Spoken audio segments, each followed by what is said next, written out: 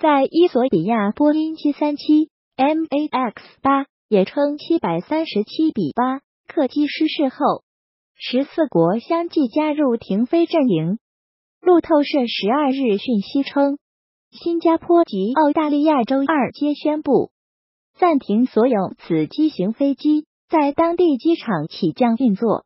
印尼及中国早前已停飞此机型，不过目前美国、欧洲等地尚未释出停飞指令，各国民航管理部门只能对本国航空公司下达停飞某款飞机的指令。当地时间十号上午，伊索比亚航空一架波音七三七 MAX 八客机坠毁，造成一百五十七人罹难，其中包括八名中国乘客。埃航透露，失事客机黑匣子已找到，已由伊索比亚航空工作人员带回检测。当地时间二零一九年三月十日，埃塞俄比亚亚的斯亚贝巴。搜救队继续在伊索比亚航空坠机现场进行残骸清理和遗体搜寻工作。当天，埃航一架从亚的斯亚贝巴飞往肯亚内罗毕的客机在起飞后不久坠毁，机上一百四十九名乘客和八名机组人。令人唏嘘的是，这是不到五个月时间内。波音七三七 MAX 八型飞机发生的第二起空难。二零一八年十月二十九日，印尼失航同样一架波音七三七 MAX 八客机发生空难事故，机上一百八十九人全部罹难，多国停飞波音七三七 MAX。本著严控安全风险的考量。空难发生后。不少国家及航空公司宣布停飞这款最新型客机。十二日，据路透社报道，新加坡及澳洲周二宣布暂停所有此机型飞机在当地机场起降运作。新加坡民航局 CAAS 的宣告显示，在周日客机坠毁事件后，对七三七 MAX 安全性的质疑。可能无法这么快消除。新加坡民航局还称，在暂停期间将收集更多资讯，检视波音七三七 MAX 持续在新加坡起降的相关安全风险。中国民航局于十一日早间下发通知，要求国内航空公司在十一日十八时前暂停全部的波音七三七负八飞机商业执行。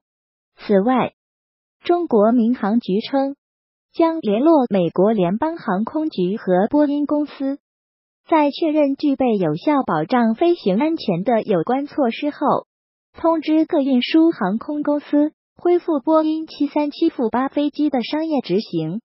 民航局官网通知，据民航资源网资料显示，目前国内共有中国航空、南方航空。东方航空、海南航空、山东航空、深圳航空等十三家航司共同运营驻九十七架七三七 MAI 飞机。在接到民航局通知后，多家国内航司相继停飞该机型，并称会帮助旅客处理退改签等问题。据报道，由于暂停了波音七三七 MAX 的飞行，十一日。国内三百五十五个航班受到了影响。十一日受到影响的三百五十五个航线。十一日，开曼航空和伊索比亚航空也释出公告称，暂停执行所有波音七三七 MAX 机型的客机复飞时间待进一步通知。埃航透露，目前坠机事故发生的原因尚未明确。我们决定采取临时安全防御措施，暂停运营所有该机型客机。另据路透社报道，墨西哥航空公司十一日也表示，在埃塞航坠机事件调查清楚之前，墨西哥航空将会停止其六架波音七三七 MAX 八的飞行。墨西哥航空公司表示。使用这些指737 MAX 八飞机运营的航班将由其他机队负责。巴西第二大航空公司高尔航空也在当地时间十一日晚上八点起暂停公司所有波音737 MAX 八飞机的商业运营。同时，南非的康姆航空也释出宣告称，将暂停所有737 MAX 八飞机的商业运营。该航空公司在一份宣告中表示。虽然康姆航空在将第一架737 MAX 八引入其机队之前，已经做了大量的准备工作，并对飞机的固有安全性仍然充满信心，但公司决定在与其他运营商、波音公司以及专家进行协商期间，暂时不安排飞机继续飞行的时间表。阿根廷航空公司宣布。将从三月十一日开始暂时停止其波音七三七 MAX 八的商业运营。摩洛哥国家航空公司摩洛哥皇家航空宣布，将无限期暂停使用所有波音七三七 MAX 八飞机。韩国国际广播电台 KBS 报道，目前韩国易思达航空公司拥有波音七三七。MAX 八型号客机，韩国国土部已开始对该型号客机进行紧急安全检查。韩国土部表示，如果发现飞机有缺陷，将立即采取停飞措施。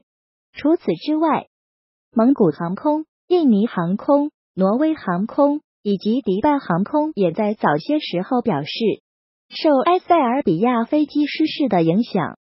暂时停止波音七三七 MAX 八的飞行。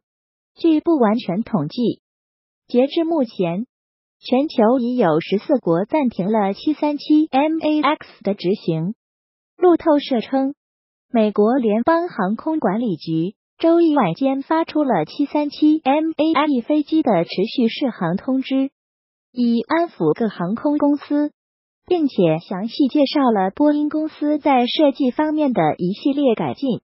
新兴国际 APP